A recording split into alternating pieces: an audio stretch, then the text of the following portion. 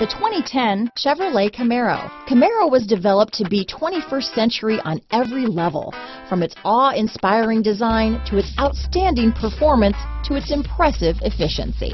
This vehicle has less than 75,000 miles. Here are some of this vehicle's great options.